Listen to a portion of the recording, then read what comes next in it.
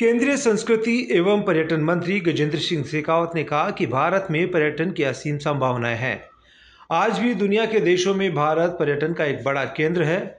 आने वाले समय में जिस तरह भारत के प्रति आकर्षण पूरी दुनिया का बढ़ रहा है, प्रधानमंत्री नरेंद्र मोदी के नेतृत्व में भारत विकसित हो रहा है।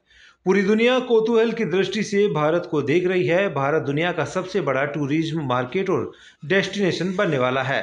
शेखावत ने कहा कि हमने अभी एक चैलेंज फ्लोट किया है, जिसमें देश भर के लोगों से अपील की है कि वो अपने अनुकूल और अनुरूप जो बेस्ट टूरिस्ट डेस्टिनेशन है, जिसको वो मानते हैं, अपने क्षेत्र या देश का कोई भी, उस पर वो वोट करें। अधिकतम वोट्स जिन डेस्टिनेशंस को मिलेंगे, उनको हम होलिस्टिक तरीके से प्रधानमंत्री के नेतृत्व में डेवलप करेंगे, ताकि आने वाले समय में वो वर्ल्ड क्लास टूरिस्ट डेस्टिनेशन बन सके। केंद्रीय मंत्री शेखावत, सूरसागर विधायक देवेंद्र जोशी की माताजी राधा देवी के निधन पर आयोजित शोक सभा में शामिल हुए। पुष्पांजलि अर्पित कर दिवंगत आत्मा की शांति के लिए परमात्मा से प्रार्थना की, परिवार के सदस्यों से मिलकर संबल प्रदान किया। वहीं इसके बाद केंद्रीय मंत्री सड़क मार्ग से पोखरण रवाना हुए। शनिवार सुबह उन्होंने लोक देवता बाबा रामदेव की मंगला आरती में शामिल होकर दर्शन किए। इससे पहले शेखावत सुबह गणमान्य लोगों से मिले। पुलिस ने गार्ड ऑफ़ ऑनर दिया। उन्होंने कार्यकर्ताओं से मिलकर सभी के अभाव अभियोग सुने और यथासंभव समस्याओं के निराकरण का प्रयास किया। उद्योग सिटी मिली है। पाली को भी बहुत राहत मिलेगी। देखिए निश्चित रूप से जोधपुर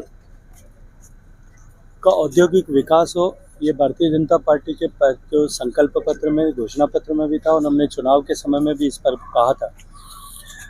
भारत सरकार ने जब माननीय मोदी जी के आशीर्वाद से देश में चौदह जगह ऐसे इंडस्ट्रियल कॉरिडोर बनाने की बात की, तब हम सबने मिलकर के प्रयास किया कि जोधपुर को भी ये सौगात मिले और राजस्थान का दूसरा बड़ा शहर होने के नाते औद्योगिक विकास की सारी संभावनाओं और जितनी भी आवश्यकताएँ हो सकती है ज़मीन की, ऊर्जा की, पानी की और उसके अतिरिक्त इंडस्ट्रियसनेस की रॉ मटेरियल्स की, वो सब होने के नाते जोधपुर स्वाभाविक रूप से ऐसी जगह थी जहाँ पर औद्योगिक विकास हो सकता है।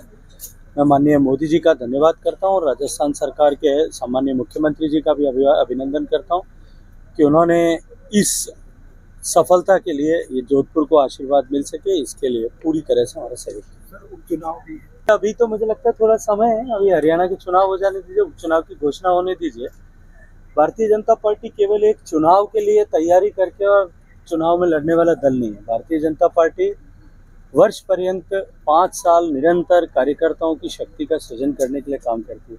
अभी आपने देखा भारतीय जनता पार्टी का सदस्यता अभियान चल रहा है और देश भर में सदस्यता अभियान चल रहा है। सदस्य बनाएँगे, सदस्यों को कार्यकर्ता बनाएँगे, कार्यकर्ताओं को नेता बनाएँगे।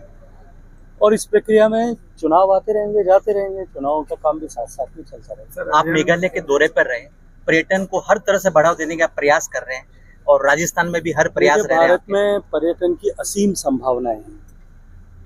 आज भी दुनिया के देशों में भारत पर्यटन का एक बड़ा केंद्र भी है। और आने वाले समय में जिस तरह से भारत के प्रति आकर्षण सारी दुनिया का बढ़ रहा है माननीय मोदी जी के नेतृत्व में जिस तरह से भारत विकसित हो रहा है, निश्चित रूप से पूरी दुनिया भारत की तरफ़ कौतूहल की दृष्टि से देख रही है।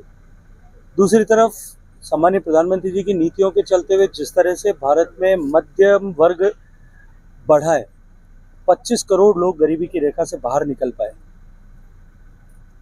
भारत की एस्पायरेशनल क्लास जो है, भारत के टूरिज़्म की ताकत को इजाफा देने वाली है, इजाफा करने वाली है। जो लोग वर्षों से, सदियों से, पीढ़ियों से जो लोग गरीबी का दंश झेल रहे थे, उनकी दबी हुई उत्कंठाएँ अब उजागर होंगी। और वो भी भारत को जानने, भारत की संस्कृति की विविधता को पहचानने के लिए देश भर में पर्यटन के लिए निकलेंगे। इसलिए भारत दुनिया का सबसे बड़ा टूरिज़्म मार्केट और डेस्टिनेशन इन दोनों के रूप में अब बनने वाला है और सम्मानीय प्रधानमंत्री जी के नेतृत्व में हम इस दिशा में इंफ्रास्ट्रक्चर ग्रोथ किस तरह से हो हॉलिस्टिक डेवलपमेंट किस तरह से हो हमने अभी एक चैलेंज फ्लोट किया है, जिसमें देश भर के लोगों से हमने अपील की है कि वो अपने अनुकूल, अपने अनुरूप जो बेस्ट टूरिस्ट डेस्टिनेशन जिसको वो मानते हैं, अपने क्षेत्र का या देश का कोई भी, उस पर वो वोट करें। और जो हाईएस्ट वोट्स जिन डेस्टिनेशंस को मिलेंगे, उनको हम हॉलिस्टिक तरीके से प्रधानमंत्री जी के नेतृत्व में डेवलप करेंगे, ताकि आने वाले समय में वो वर्ल्ड क्लास टूरिस्ट डेस्टिनेशन बन सके। उदय।